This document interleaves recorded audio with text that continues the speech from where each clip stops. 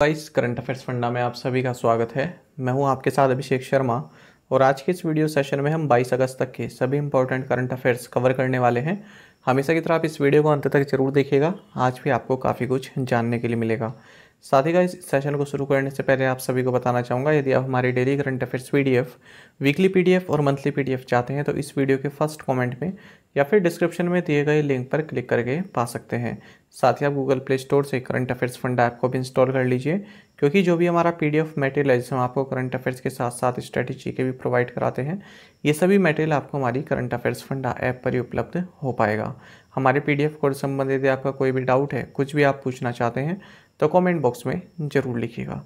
तो चलिए फिर करते हैं शुरुआत इस वीडियो सेशन की। Which country will host Sultan Azlan Shah Cup 2022 from November 16 to 25 16 से 25 नवंबर तक कौन सा देश सुल्तान अजलान शाह कप 2022 की मेजबानी करेगा?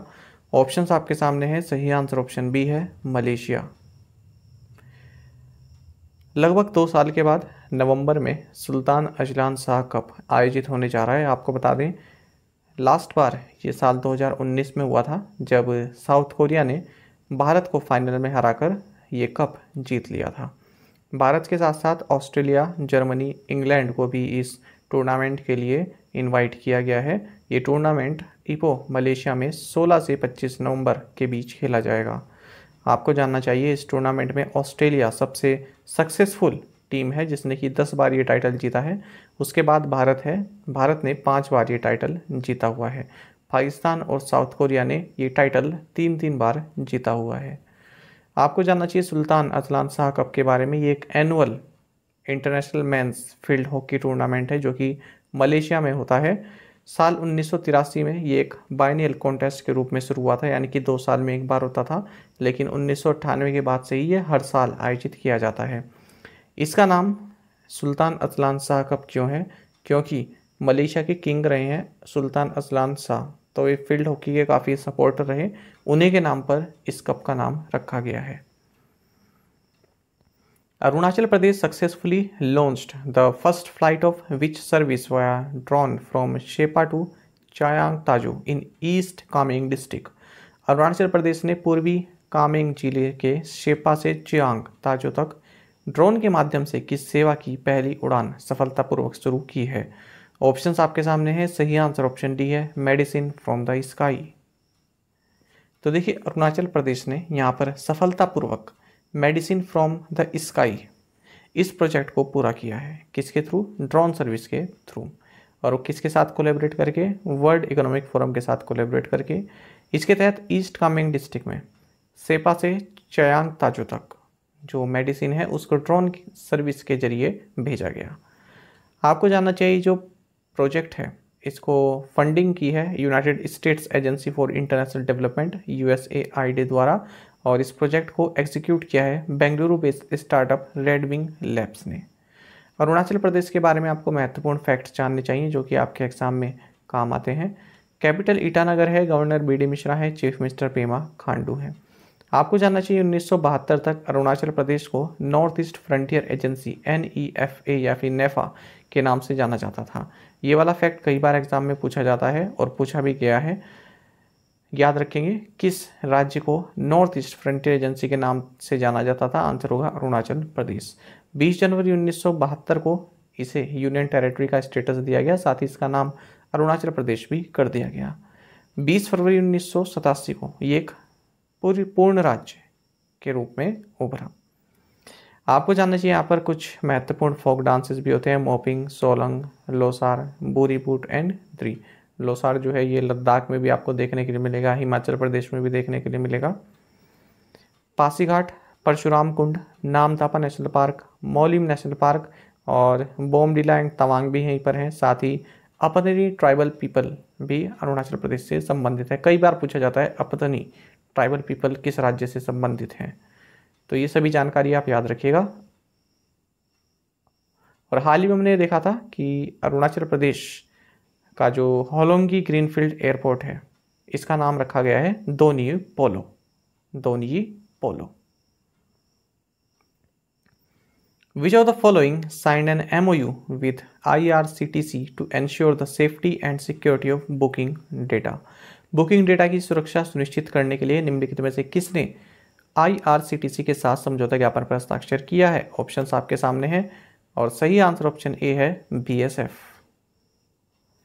तो देखिए, आपको जानना चाहिए बॉर्डर सिक्योरिटी फोर्स बीएसएफ इसने एक एमओयू साइन किया है Indian Railway Catering and Tourism Corporation जिसे आप आईआरसीटीसी के नाम से भी जानते हैं। तो इसके तहत जो भी बीएसएफ हैं बीएसएफ के जो ट्रूप्स हैं, उनके लिए जो एयर ई टिकट सर्विस है, उससे संबंधित जो भी बुकिंग डेटा है, उसकी सेफ्टी एंड सिक्योरिटी के लिए एमओयू साइन किया गया है। साथ ही इसके तहत ये जो एमओयू साइन किया गया है, इसके तहत एक ऑनलाइन पोर्टल भी लॉन्च किया जाना है प्रोवाइड किया जाना है, जिसके तहत साठ दिन की क्रेडिट फैसिलिटी भी प्रोवाइड की जाएगी। बाकी आपको जानना चाहिए आईआरसीटीसी के सीएमडी रजनी हासीजा हैं। बॉर्डर सिक्योरिटी फोर्स की बात करें डायरेक्टर जनरल पंकज कुमार सिंह हैं। स्थापना बीएसएफ की एक दिसंबर उन्नीस सौ पैंसठ को की गई थी हेडक्वार्टर्स न्यू दिल्ली में है। मोटो है duty until death The Union Cabinet has approved the enhancement in the limit of emergency credit line guarantee scheme ECLGS from rupees 4.5 lakh crore to what amount? केंद्रीय मंत्रिमंडल ने आपातकालीन क्रेडिट लाइन गारंटी योजना की सीमा को साढ़े चार लाख करोड़ रुपए से बढ़ाकर कितनी राशि करने की मंजूरी दी है? ऑप्शंस आपके सामने है। सही आंसर ऑप्शन ए है, पाँच लाख करोड़ रुपए। आपको जानना चाहिए यूनियन कैबिनेट जिसकी अध्यक्षता प्राइम मिनिस्टर नरेंद्र मोदी द्वारा की गई। तो इन्होंने emergency credit line guarantee scheme यानी कि E C L G S की लिमिट पचास हज़ार करोड़ रुपए और बढ़ाने की मंजूरी दे दी है। यानी कि मौजूदा साढ़े चार लाख करोड़ रुपए से बढ़ाकर पाँच लाख करोड़ रुपए करने को मंजूरी दे दी है। और जो ये एडिशनल अमाउंट ऐड की गई है, पचास हज़ार करोड़ रुपए की, ये मुख्यतः जो हॉस्पिटैलिटी सेक्टर है या फिर टूरिज़्म संबंधी सेक्टर है, उनके लिए की गई है। आप सभी जानते हैं कोविड नाइन्टीन के कारण कई सारे एमएसएमई और जो छोटे उद्योग हैं, जो छोटे बिज़नेस हैं, वो प्रभावित हुए। कई लोगों से उन्होंने पैसा लिया हुआ था जिनको पैसा लौटाना था और अपना सामान भी लेना था। तो इसके लिए, इसको इन सभी उद्योगों को मदद करने के लिए जो छोटे बिज़नेस हैं, ये E C L G S C scheme launch की गई थी मई 2022 में इसको अनाउंस किया गया था। तो इसके तहत जो भी लैंडिंग इंस्टीट्यूशंस हैं, उनको 100 परसेंट गारंटी दी जाती है ताकि वो जो है कोई भी लोन देने में किसी भी प्रकार की आ, कोई समस्या आ, ना सोचें है ना? कोई भी आनाकानी ना करें तो हंड्रेड परसेंट गारंटी उनको दी जाती है। तो ये जो है ना ये लोन की लिमिट है पाँच लाख करोड़ रुपए तक का लोन यहाँ पर इस स्कीम के तहत दिया जाएगा। आपको जानना चाहिए बजट 2022-23 में फाइनेंस मिनिस्टर निर्मला सीतारमन ने ये जो स्कीम है ई सी एल जी एस इसको 31 मार्च 2023 तक बढ़ाने की बात कही थी, घोषणा की थी। साथ ही एडिशनल पचास हज़ार करोड़ रुपए की गारंटी कवर भी इसमें बढ़ाने की बात कही थी, जिसके बारे में हमने अभी पढ़ाई जिसको मंजूरी दी गई है। तो क्या मतलब हुआ? ये जो घोषणा है पहले कर दी गई थी, लेकिन इसको मंजूरी अब दी गई है। और जो भी हॉस्पिटैलिटी और इससे रिलेटेड सेक्टर्स हैं, उनके लिए ये एप्लीकेबल है इकतीस मार्च 2023 तक। Which state signed an M U with the National Institute of Ocean Technology for protecting coastline समुद्र तट की रक्षा के लिए किस राज्य ने राष्ट्रीय महासागर प्रौद्योगिकी संस्थान के साथ समझौता ज्ञापन पर हस्ताक्षर किए? ऑप्शन आपके सामने हैं। सही आंसर ऑप्शन भी है उड़ीसा। जानेगा उड़ीसा गवर्नमेंट ने एक एमओयू साइन किया है National Institute of Ocean Technology N I O T के साथ for protecting of its coast तो देखिए, गुजरात की भी जो कोस्टल सीमा है, वो अच्छी खासी लंबी है तो उसको प्रोटेक्ट करने के लिए National Institute of Ocean Technology के साथ एम साइन किया है। बाकी आपको जान लीजिए National Institute of Ocean Technology ये चेन्नई में है। ये अपने आप में एक क्वेश्चन है स्टैटिक जीके के अंतर्गत पूछा जाता है कि National Institute of Ocean Technology कहाँ पर है तो आंसर होगा चेन्नई। और ये मिनिस्ट्री ऑफ़ अर्थ साइंसेस के तहत एक प्रीमियर इंस्टीट्यूट है ocean engineering and coastline protection के लिए। अब मान लीजिए क्वेश्चन नहीं आता है कि उड़ीसा गवर्नमेंट ने किसके साथ एमओयू साइन किया है या फिर किसने एन के साथ एमओयू साइन किया है। लेकिन आपको यहाँ पर डिटेल में जानने के लिए मिला कि National Institute of Ocean Technology Chennai में है। तो ये अपने आप में क्वेश्चन है, ये पूछा जाता है। बाकी उड़ीसा के बारे में आप जानते हैं, गवर्नर गणेशी लाल हैं, कैपिटल भुवनेश्वर है, चीफ मिनिस्टर नवीन पटनायक हैं। Name the India's first portal on arrested narcotics offenders नशीले पदार्थों के लिए गिरफ़्तार अपराधियों पर। भारत के पहले पोर्टल का नाम बताएँ। ऑप्शंस आपके सामने हैं सही आंसर ऑप्शन बी है निदान। तो देखिए जो भी नशीले पदार्थों का सेवन करते हैं तो उनको पकड़ लिया जाता है उनका डेटाबेस क्रिएट किया जाता है। जितना भी पूरी उनकी जो कुंडली है वो ले ली जाती है कि कब किसमें शामिल रहे। तो इससे क्या होता है इस डेटा को जो सेंट्रल और जो स्टेट एजेंसीज हैं उनके साथ शेयर किया जाता है ताकि कोई आ, केस हो जाए तो उस डेटाबेस में देखा जा सके कि क्या आरोपी उस डेटाबेस में शामिल है तो उससे उसे पकड़ने में काफ़ी मदद मिलती है। तो इसी के तहत एक पोर्टल लॉन्च किया गया, जिसका नाम है निदान यानी कि national integrated database on arrested narco offenders इसको नार्कोटिक्स कंट्रोल ब्यूरो द्वारा डेवलप किया गया है। तो ये इसी तरह का डेटाबेस रहेगा, जिसमें जो भी नार्कोटिक्स ऑफेंडर्स रहे हैं, जो नशीले पदार्थों के अपराधी रहे हैं, उनका पूरा डेटा इसमें रहेगा। और आपको जानना चाहिए, ये किस इनिशिएटिव का एक पार्ट है तो आपको जानना चाहिए कि जुलाई तीस को चंडीगढ़ में जो हमारे union home minister Amit Shah इन्होंने narcotics coordination mechanism portal N portal इसको लॉन्च किया था। इसी के तहत ये इनिशिएटिव लिया गया है कि निदान पोर्टल बनाया जाए। बाकी आपको जानना चाहिए, जो नारकोटिक्स कंट्रोल ब्यूरो है एन इसके डायरेक्टर जनरल सत्य नारायण प्रधान हैं। The Reserve Bank of India has cancelled the license of which state-based Deccan Urban Cooperative Bank Limited. भारतीय रिज़र्व बैंक ने किस राज्य स्थित Deccan Urban Cooperative Bank Limited का लाइसेंस रद्द कर दिया है? ऑप्शंस आपके सामने हैं। सही आंसर ऑप्शन ए कर्नाटक है। तो देखिए रिज़र्व बैंक ऑफ़ इंडिया ने कर्नाटक के विजयपुर स्थित डेक्कन अर्बन कोऑपरेटिव बैंक का लाइसेंस रद्द कर दिया है। और ये भी कहा है कि section 5 B and section 56 of Banking Regulation Act 1959 के तहत इस बैंक को किसी भी तरह का बैंकिंग बिज़नेस करने से प्रोहिबिट किया जाता है, प्रतिबंधित किया जाता है। ना तो ये किसी भी तरह का डिपॉजिट एक्सेप्ट करेगा, ना ही डिपॉजिट की रिपेमेंट करेगा। साथ ही आप जानते हैं कि यदि इस तरह का कभी केस होता है तो Deposit Insurance and Credit Guarantee Corporation यानी कि डी ये पाँच लाख रुपए तक का जो क्लेम है, उसको कवर करती है। जो भी कस्टमर्स हैं, यदि उनका पैसा इसमें ना डूबे तो इसलिए डी आई सी जी सी सबको इंश्योर्ड करके रखती है। तो पाँच लाख रुपए तक का क्लेम यहाँ पर कस्टमर अपना कर सकते हैं, उनको पैसे मिल जाते हैं। तो ऐसा नहीं है कि पैसे डूब जाएँगे। और ये प्रोविज़न किसके तहत है? D I C G C act nineteen sixty one the Hindustan Aeronautics Limited H L inked an M O U to establish its first international marketing and sales office in which city Hindustan Aeronautics Limited ने किस शहर में अपना पहला अंतर्राष्ट्रीय विपणन और बिक्री कार्यालय स्थापित करने के लिए समझौता ज्ञापन पर हस्ताक्षर किया? सही आंसर ऑप्शन डी है कुआलालंपुर तो देखिए, हिंदुस्तान एरोनॉटिक्स लिमिटेड यानी कि एच ए एल इसने एक एम साइन किया है जिसके तहत ये कुआलालंपुर मलेशिया में अपना first international marketing and sales office establish करेगा। तो ऐसा क्यों किया जा रहा है? क्योंकि ये लगभग कंफर्म हो गया है कि Bharat light combat aircraft LCA Tejas Malaysia को डिलीवर करेगा।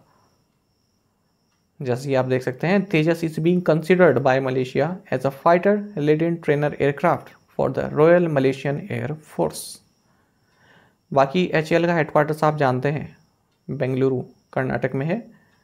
और हाल ही में हमने ये भी देखा था कि एच के जो चेयरमैन मैनेजिंग डायरेक्टर हैं R Madhavan.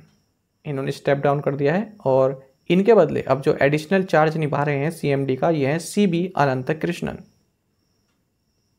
international day of remembrance and tribute to the victims of terrorism is observe on which day अंतर्राष्ट्रीय स्मरण और आतंकवाद के पीड़ितों को श्रद्धांजलि दिवस।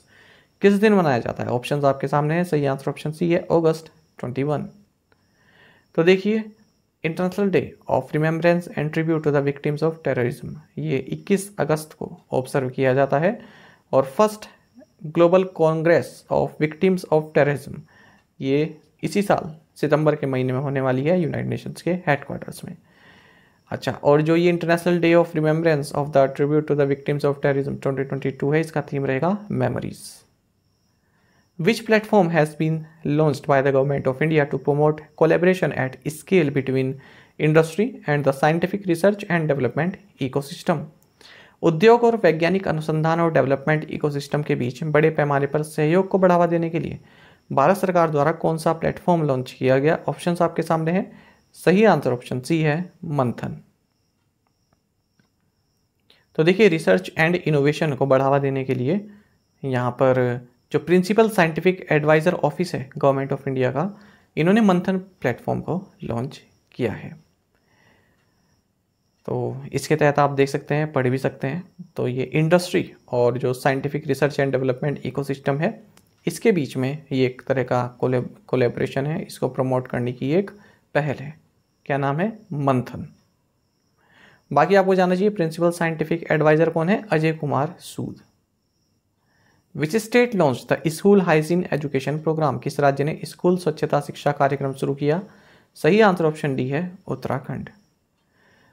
तो देखिए बच्चों के बीच में सफ़ाई के बारे में जागरूकता फैलाने के लिए उत्तराखंड के चीफ मिनिस्टर पुष्कर सिंह धामी ने स्कूल हाइजीन एजुकेशन प्रोग्राम अपने राज्य में लॉन्च किया है। और ये जो प्रोग्राम है, ये उत्तराखंड के जो तेरह डिस्ट्रिक्ट हैं, उनके तेरह हज़ार प्राइमरी स्कूल्स में चलाया जाएगा। और इस प्रोग्राम के लिए उत्तराखंड का जो एजुकेशन डिपार्टमेंट है, इसने रैकेट के साथ एम साइन किया है। हाल ही हमने देखा कि उत्तराखंड सरकार ने कहा है कि हम हर एक डिस्ट्रिक्ट में एक संस्कृत स्पीकिंग विलेज डेवलप करेंगे। साथ ही हमने देखा कि भारत का पहला हिमालयन स्पाइस गार्डन ईरानी खेत में इनोग्रेट किया गया। Who is not among the four reappointed independent directors on the RBI central board RBI के केंद्रीय बोर्ड में चार। पुनर्नियुक्त स्वतंत्र निदेशकों में कौन शामिल नहीं है? ऑप्शंस आपके सामने है। सही आंसर ऑप्शन भी है महेश कुमार जैन। देखिए, सेंट्रल गवर्नमेंट ने सतीश काशीनाथ मराठे, स्वामीनाथन गुरुमूर्ति, रेवती अय्यर और सचिन चतुर्वेदी। इनको रिज़र्व बैंक ऑफ़ इंडिया का जो सेंट्रल बोर्ड है, उसमें part time non official directors के रूप में रीनोमिनेट किया है और चार साल के लिए। और साथ ही इन्होंने जो अय्यर हैं, यानी कि रेवती अय्यर, इनको नदर्न लोकल बोर्ड और जो सचिन चतुर्वेदी हैं, इनको ईस्टर्न लोकल बोर्ड में भी रीअपॉइंट किया है एज मेंबर बाकी आपको जानना चाहिए, जून के महीने में गवर्नमेंट ऑफ़ इंडिया ने आनंद महिंद्रा, वेणु श्रीनिवासन, पंकज पटेल और रविंद्र ढोलकिया, इनको part time non official directors के रूप में नॉमिनेट किया था आरबीआई के सेंट्रल बोर्ड में। India is home to of the twenty cities with the most severe increase in fine particle pollutants from 2010 to 2019 2010 से 2019 तक सूक्ष्म कण प्रदूषकों पीएम 2.5 में सबसे अधिक वृद्धि वाले 20 शहरों में भारत के कितने शहर शामिल हैं? ऑप्शंस आपके सामने हैं और सही आंसर ऑप्शन सी है 18 आपको जानना चाहिए, एक रिपोर्ट आई है, उसमें कहा है कि 2010 से 2019 तक की यदि हम कंट्रीज़ की लिस्ट बनाई जहाँ पर जो P M two point five है, जो कि फाइन पार्टिकल पोलिटेंट्स होते हैं, ये सबसे ज़्यादा कंसंट्रेशन जिन शहरों में इनकी एक लिस्ट बनाई जाए 2010 से 2019 तक के लिए तो जो टॉप ट्वेंटी सिटीज़ हैं, उसमें एट्टीन तो भारत से ही हैं, और बाकी के जो दो बचे, ये इंडोनेशिया से हैं। रिपोर्ट का नाम है air quality and health in cities इसको US based research organisation Health Effects Institute HEI द्वारा पब्लिश किया गया है। साथ ही इसमें बताया गया है कि दिल्ली में highest average level of fine PM 2.5 है। यानी कि सबसे ज़्यादा पॉल्यूटेड क्या है? दिल्ली सिटी है। ये बताया इन्होंने 2010 से 2019 तक का आंकड़ा कि जो टॉप ट्वेंटी सिटीज़ हैं, उनमें एट्टीन भारत में है। अच्छा दो तरह के यहाँ पर हार्मफुल पॉल्यूटेंट्स यूज़ किए गए हैं। एक तो है फाइन पार्टिकुलेट मैटर पीएम का मतलब होता है पार्टिकुलेट मैटर और दूसरा है नाइट्रोजन डाइऑक्साइड एनओ साथ ही उन्होंने बताया कि 2019 की अगर हम बात करें पर्टिकुलर 2019 की अगर हम बात करें तो सात हज़ार दो सौ उनतालीस सिटीज़ में जो कि इस एनालिसिस के लिए यूज़ की गई हैं, उसमें P M two point five exposure के कारण one point seven million deaths हुई हैं। साथ ही रिपोर्ट आगे ये भी बताता है कि दिल्ली और कोलकाता ये दोनों ही टॉप टेन सिटीज़ जो टॉप टेन सिटीज़ हैं, उनमें शामिल हैं। यदि हम 2019 की बात करें, जहाँ पर P M two point five सबसे ज़्यादा रहा। तो इस तरह से आप ये रैंकिंग देख सकते हैं। यदि हम फाइव मोस्ट पोल्यूटेड सिटीज़ की बात करें 2019 में तो दिल्ली सबसे टॉप पर है, उसके बाद है कोलकाता, दूसरे नंबर पर। फिर उसके बाद आप देखेंगे कानू, नाइजीरिया, फिर लीमा, पेरू, फिर ढाका, बांग्लादेश। इसी तरह से नाइट्रोजन डाइऑक्साइड की नीचे लिस्ट दी गई है, जिसमें पहले नंबर पर शंघाई है, फिर मॉस्को है, फिर तेहरान है, फिर सेंट पिट्सबर्ग है, फिर बीजिंग है। बाकी आपको जानना चाहिए कि W H World Health Organisation के हिसाब से जो P M two point five s का कंसनट्रेशन ये five microgram per metre cube होना चाहिए। Which ministry launch a new campaign named Palan 1000 national campaign किस मंत्रालय ने पालन 1000 राष्ट्रीय अभियान नाम से एक नया अभियान शुरू किया? ऑप्शंस आपके सामने है, सही आंसर ऑप्शन ए है मिनिस्ट्री ऑफ़ हेल्थ तो देखिए union minister of state for health Bharati Pravin Pawar. इन्होंने एक नया कैंपेन लॉन्च किया है मुंबई में, जिसका नाम है पालन वन थाउज़ेंड नेशनल कैंपेन साथ ही एक पेरेंटिंग एप्लीकेशन भी लॉन्च की है। तो चिल्ड्रन के पहला जो दो साल होते हैं, उन, उसमें चिल्ड्रन के डेवलपमेंट पर ये एप्लीकेशन मोबाइल एप्लीकेशन फोकस करती है। आपको जानना चाहिए फ़र्स्ट थाउज़ेंड डेज़ ये किसी भी बच्चे का physical mental emotional cognitive and social health develop करते हैं। अच्छा आपको जाना चाहिए, अगर हम एक रिपोर्ट की बात करें, एक आंकड़े की बात करें तो भारत ने काफ़ी लंबी छलांग लगाई है। यदि हम चाइल्ड मोर्टेलिटी की बात करें 2014 से तो जहाँ पर 2014 में चाइल्ड मोर्टेलिटी रेट 45 पर 1000 लाइव बर्थ था तो वहीं 2019 में ये 35 पर 1000 लाइव बर्थ हो गया है। तो अगर ये कम होगा तो ज़्यादा अच्छा होता है। First three printed human cornea in India has been developed by which institution. Bharat में पहला थ्री प्रिंटेड ह्यूमन कॉर्निया किस संस्थान द्वारा विकसित किया गया। ऑप्शंस आपके सामने है। सही आंसर ऑप्शन डी है आईआईटी हैदराबाद। तो देखिए, इंडिया का फ़र्स्ट थ्री प्रिंटेड कॉर्निया, ये हैदराबाद में डेवलप किया गया है। LV Prasad eye institute, Indian institute of technology Hyderabad और centre for cellular and molecular biology CCMB के रिसर्चर्स के द्वारा। आपको जानना चाहिए जो आर्टिफिशियल कॉर्निया है, जिसको इन सभी रिसर्च रिसर्चर्स ने डेवलप किया है, इसको ट्रांसप्लांट किया गया है रैबिट की आई में। Defence minister Rajnath Singh unveiled the statue of Veer Durgadas Rathore on his three eighty fifth birth anniversary in which city रक्षा मंत्री राजनाथ सिंह ने वीर दुर्गादास राठौर की तीन सौ पिचासीवीं जयंती पर किस शहर में उनकी प्रतिमा का अनावरण किया है? ऑप्शन आपके सामने है, सही आंसर ऑप्शन डी है जोधपुर। तो देखिए, डिफेंस मिनिस्टर राजनाथ सिंह ने राजस्थान के जोधपुर में वीर दुर्गादास राठौर की तीन बर्थ एनिवर्सरी पर उनकी एक प्रतिमा का अनावरण किया है। वीर दुर्गादास राठौर, इन्होंने जो है अपनी राठौर डायनेस्टी को प्रिजर्व किया after the death of Maharaja Jaswant Singh in the seventeen century which company has raised a one million a one billion US dollar project loan through external commercial borrowings tying up with 12 international banks for the finance किस company ने वित्त के लिए 12 अंतर्राष्ट्रीय बैंकों के साथ गठजोड़ करते हुए बाहरी वाणिज्यिक उधार के माध्यम से वन बिलियन इन्वेस्टर का परियोजना ऋण जुटाया है? ऑप्शन आपके सामने है। सही आंसर ऑप्शन डी है रेन्यू पावर तो देखिए, गुड़गांव बेस्ड कंपनी है रेन्यू पावर तो इसने 12 इंटरनेशनल बैंक्स के साथ टाई अप करके लगभग वन बिलियन यूएस डॉलर का प्रोजेक्ट लोन इसने एक्सटर्नल कमर्शियल बोरोइंग्स के माध्यम से जुटाया है। और ये अब तक का सिंगल लार्जेस्ट प्रोजेक्ट फंडिंग है किसी भी इंडियन रेन्यूएबल एनर्जी कंपनी के लिए। बाकी आपको जानना चाहिए जो ये कंपनी है रेन्यू इसको गोल्डमैन सैक्स द्वारा प्रमोट किया जाता है। और ये लास्ट ईयर नास्टेक में स्पेशल पर्पस एक्विजिशन कंपनीज़ के थ्रू लिस्ट होने वाली कंपनी बनी थी। पहली रिन्यूएबल कंपनी भारत की बनी थी।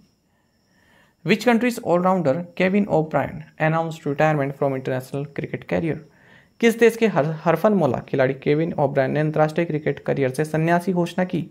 सही आंसर ऑप्शन ए है आयरलैंड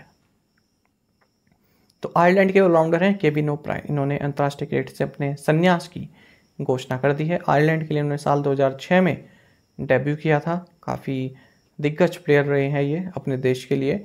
तीन टेस्ट खेले, एक सौ तिरपन वनडे इंटरनेशनल्स खेले और एक सौ दस टी ट्वेंटीज खेले हैं इन्होंने। पाँच हज़ार आठ सौ पचास रन इन्होंने बनाए हैं, एक सौ बहत्तर विकेट्स लिए हैं। Which agency signed an M O U with J and K Gramin bank to finance seven hundred joint liability groups in J and K and Ladakh Jammu Kashmir और लद्दाख में 700 संयुक्त देयता समूहों के वित्त पोषण के लिए किस एजेंसी ने जम्मू कश्मीर ग्रामीण बैंक के साथ एक समझौता ज्ञापन पर हस्ताक्षर किए। सही आंसर ऑप्शन डी है नाबार्ड।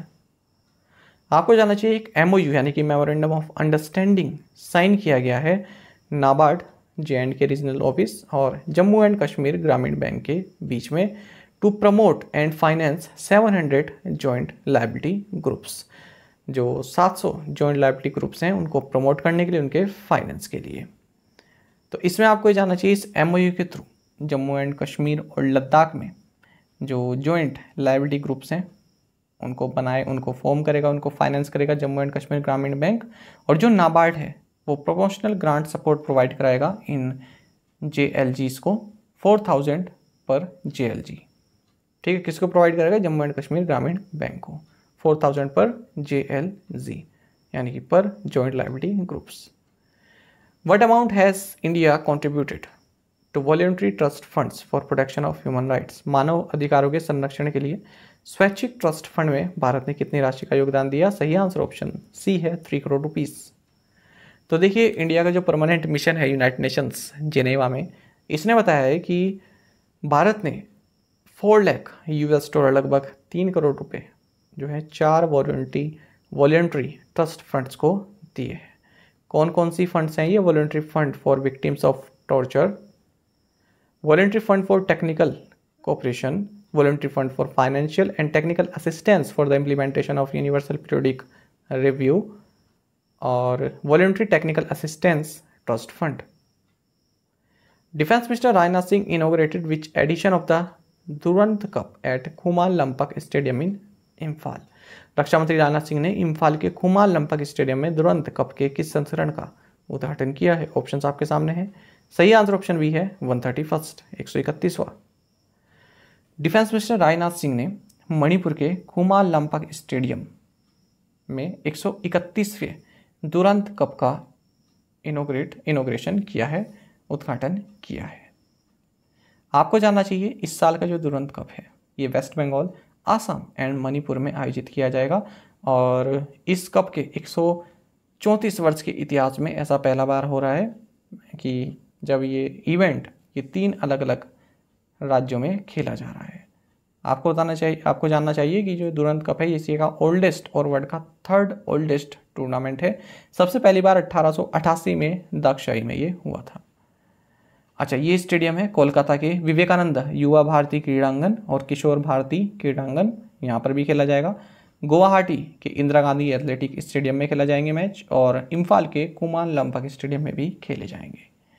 आपको जानना चाहिए इस टूर्नामेंट को Durand football tournament society host करता है, किसके साथ मिलकर? Eastern command of the Indian arm forces and government of West Bengal and government of Assam and Manipur इसका नाम दुरंत कप किसके नाम पर है? तो अठारह से अठारह सौ चौरानवे के बीच ब्रिटिश इंडिया के फॉरेन सेक्रेटरी रहे हैं सर हेनरी मोटिमर दुरंत तो इनके नाम पर इस कप का नाम हुआ है।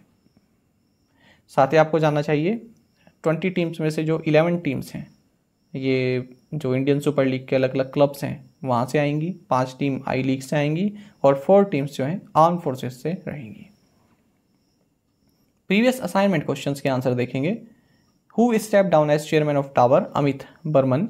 Who won India's first gold medal at the 2022 Commonwealth Games, Mirabai Chanu, who was appointed as the State Brand Ambassador of Uttarakhand, Rishabh Pant, who has been appointed as the MD of National Bank for Financing Infrastructure and Development, Raj Kiran Raiji, which airline emerged as the second biggest airline by domestic market share in July, distantly second to the market leader Indigo at 58.8%. Answer is Vistara which company has authorized the issuance of up to 400 million US dollar 5% unsecured foreign currency convertible bonds on a private placement basis, answer is Reliance infrastructure और आप में से कई students ने बिल्कुल सही answer दिया है। इसी तरह से आप पार्टिसिपेट करते रहें। ज़्यादा से ज़्यादा संख्या में पार्टिसिपेट किए, ऐसी मैं आपसे उम्मीद रखता हूँ। अब ये वाले असाइनमेंट क्वेश्चंस का आंसर केवल पाँच ही एस्पिरेंट्स ने दिया हुआ था। तो ऐसा मत कीजिए। पार्टिसिपेट कीजिए, क्वेश्चन भी बनाने में टाइम लगता है। अच्छे अच्छे क्वेश्चन मैं आपके लिए लाता हूँ। और जब आपके एग्ज़ाम आने वाला है, आपके पास चांस है तो क्यों रिस्क ले रहे हो? जितने ज़्यादा क्वेश्चन इस तरह के पढ़ सको, अपने आप लिख सको, उतनी प्रैक्टिस कीजिए। चलिए, आज के असाइनमेंट क्वेश्चन देखेंगे। The Bennington battle day is celebrated on which day Vostok 2022 military exercise will be held in which country Riyangs are the tribal community associated with which state in India. The first Khelo India Women's Hockey League under 16 is being played at the Major Dhyanchand Stadium in which state or UT. The Garib Kalyan Rozgar Abhiyan was launched in 116 districts across 6 states on 20th June 2020 from village Telihar, Khagaria district of Bihar for a period of how many days with resource envelope of rupees 50,000 crore. पूरी योजना आपकी दो line में मैंने बता दी है। उड़ान, उड़े का आम नागरिक has completed five years it was initiated on 21st October 2016 1000 routes and 2020 airports are plan to be facilitated under the scheme by which year महत्वपूर्ण क्वेश्चन है। तो पाँच छः के छः क्वेश्चन के आंसर आप कमेंट बॉक्स में ज़रूर दीजिएगा। एक क्वेश्चन का आंसर भी आता है तो वो भी आप कमेंट बॉक्स में बताएँ। ये इंपॉर्टेंट है कि आप अपनी यहाँ पर पार्टिसिपेशन ज़रूर दर्ज कराएँ। साथ ही करंट अफेयर्स फंडा को आप टेलीग्राम पर भी ज्वाइन कर सकते हैं। यहाँ पर रेगुलर वीडियो अपडेट्स और करंट क्विज जैसे हम आप सभी के लिए डालते रहते हैं। साथ ही डिस्कशन ग्रुप में आप किसी भी क्वेश्चन का सोल्यूशन पा सकते हैं। दोस्तों, यहाँ पर हमारे करंट अफेयर्स की प्लेलिस्ट दी गई है। इसको आप ज़रूर देखें अपने दोस्तों के साथ। फैलोअर्स के साथ हमारे करंट अफेयर्स को शेयर ज़रूर करें। आज का सेशन आपको कैसा लगा? कमेंट बॉक्स में ज़रूर बताइएगा। Thank you guys